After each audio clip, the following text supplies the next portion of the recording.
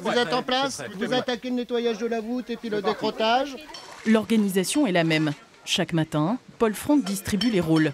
Espace vert, réfection de la voûte, chaque bénévole a sa tâche. Et cette année, la priorité, c'est la chaussée de cet ouvrage, vieux de 500 ans.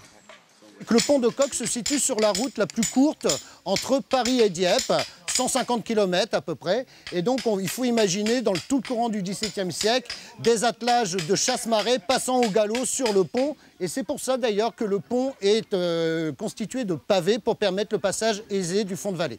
Une sorte d'autoroute du XVIIe siècle entre la mer et la capitale. Très emprunté, le pont de Coq était à l'abandon jusqu'en 2003, date de sa redécouverte.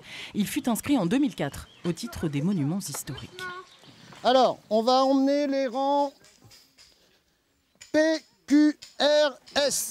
Un ouvrage pour lequel s'est passionnée une association qui le restaure depuis 2011 grâce à des bénévoles. Certains fidèles depuis plusieurs années, d'autres en contrat d'insertion pour une semaine avec une devise, la solidarité.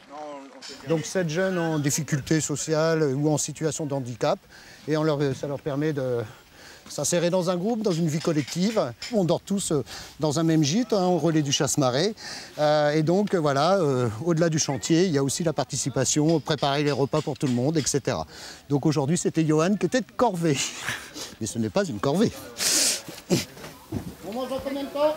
Je m'attendais pas à que ce soit aussi convivial et que ça se passe très bien avec les autres.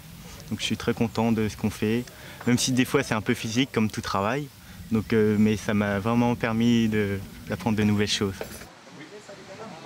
Après la chaussée, l'an prochain, les bénévoles attaqueront l'autre face de la voûte. Une aventure humaine qui aura permis de sauver un petit bout de patrimoine local du pays de Bray.